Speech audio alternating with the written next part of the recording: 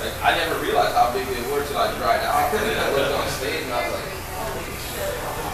Like this is where the 12 pounds went. right here. I mean, I was squatting three weeks ago, four weeks ago, I was squatting six plates for rep. Like for reps. And